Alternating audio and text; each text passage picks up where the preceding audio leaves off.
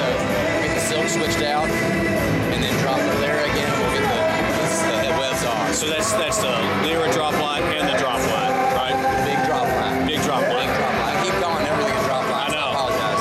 But yeah, drop line. We're gonna put a silk on it. Okay. Then you're gonna get a breasting. You're gonna breast the, the Lyra down so we can get this web on it. Okay. After we get this out. So the main drop line and the and the Lyra drop line is what you coming down. Uh, center first. Okay. Actually, we, we have enough people. Should Once we roll this out there, go to the center drop and let's get a. Uh, center drop first. All right.